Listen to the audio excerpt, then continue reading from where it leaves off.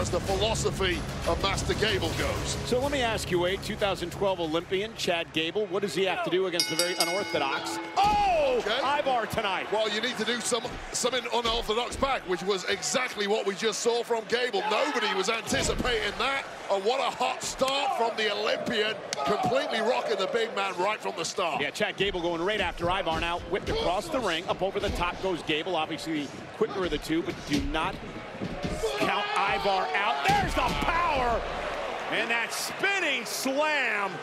Inside out slam using all that torque and momentum of a 330-pound centrifugal force coming crashing down on the spine of poor Chad Gable. You know, there's something perversely interesting about watching Ivar in the ring. Yeah, no one that big and strong should ever be able to do the things that Ivar can do, but he has the power of the Viking gods coursing through his body. That is what Chad Gable's up against tonight. Ivar tried to drop the elbow. Gable able to move out of harm's way, and now a couple of uppercuts by Gable. Thrust right to the throat. Chad Gable, kick to the knee. Gable, who had, oh, swinging neck breaker with some great matches with the Intercontinental Champion Gunther.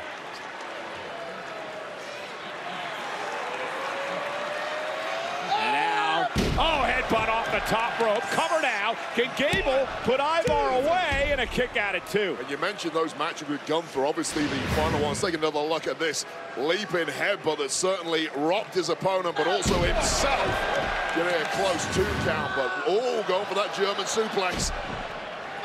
Ivar just too big and too fresh at this point in the matchup. Ivar, a clubby blow. Ivar going to power Chad up into a vertical suplex. Now dumping him over the top rope, but Gable hanging on.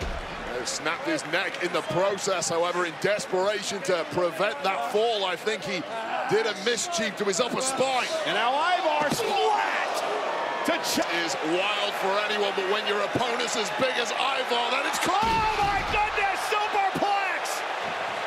Can Gable capitalize? Well, Gable has taken such a merciless in this one. A, I'm surprised he could pull that off of B. I'm not surprised he was not capable of making a cover after that, but this is what happened before the break. Look at this. Ivar with that running cross body. Absolute zero give in the edge of that ring, and then followed up with pulling out this move on the massive frame of Ivar, the amount of power that required, and this one spilling all over the ringside area. Yeah, now. Gable and Ivar once again over the top rope out to the floor.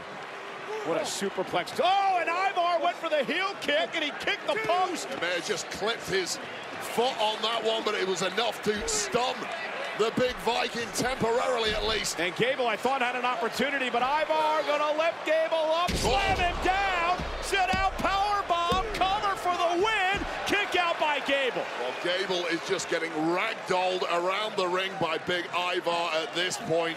And you question how much more of this kind of punishment can the Olympian possibly take?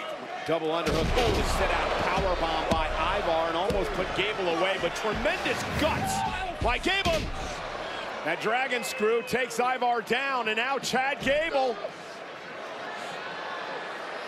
Gonna happen here. Gable roll through, trying to pick the ankle, trying to turn Ivar into an ankle lock. Locked in on the massive leg Middle of, the ring, nowhere to go. Ivar trying to reverse somehow, but he can't.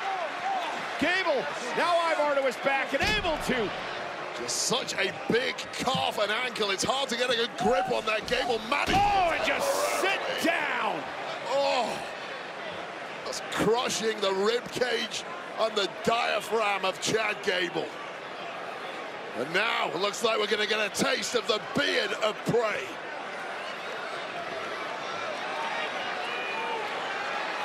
Measuring his opponent. Ivar with a leg drop from the second rope crushing Gable. Cover. Chad still in it. Glassy-eyed look on the face. I'm amazed that Chad Gable can even breathe after his windpipe just got crushed by the flying Ivar. Ivar, though, right back to his feet, measuring his man, stalking Gable. Ivar, spin kick, caught, picked out of midair by Gable From defense to attack in the blink of an eye and back to that ankle. And dragging Ivar to the middle of the ring. And Gable's got the ankle locked up. Ankle lock in round. Is Ivar going to tap? Will Ivar tap out to the ankle lock of Gable? He's a million miles away from the ropes. It's coming, Cole. What a win this would be for Chad Gable. Ivar gets to the bottom rope, forcing the break. And Chad Gable's heart just sank through his feet. He thought he had victory in his grasp. Now is Gable's best opportunity. Ivar now planning Gable again. Shoulders down. Gable still able to kick out. The match continues. It is so frustrating when you're in there with an opponent like Gable who you know should be defeated by now, but he just refuses to quit. And Ivar having some issues with his right leg. Of course, uh, based on the ankle lock by Gable. Capacity crowd here tonight in New Orleans.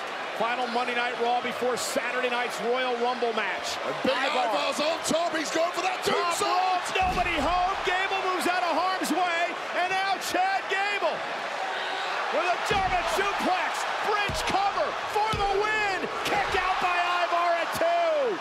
Just a millisecond from victory for Chad Gable. Take another look at the power and technique required to pull this off at the best of times. But after you've taken such a beating, it is incredible Gable could pull that off. And now Gable to the top rope, but Ivar meets him there with a chop. This has been a hell of a match here tonight on Monday Night Raw. What do you expect from two competitors like Gable and Ivar bringing their best every single time? But someone's got to win this, Cole. And Gable, Gable now. Oh! A German suplex! What a counter! Gable slipped behind Ivar, delivered the German. And that is a lot of humanity to come down from the second row. And just screaming in Gable's face. And Ivar able to take advantage off the distraction.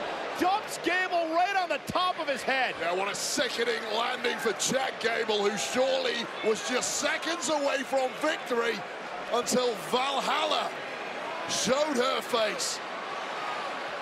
And out of the top rope, the 330-pounder. Ivar with a Doomsault and the cover. Give Valhalla the assist. Here is your winner, Ivar!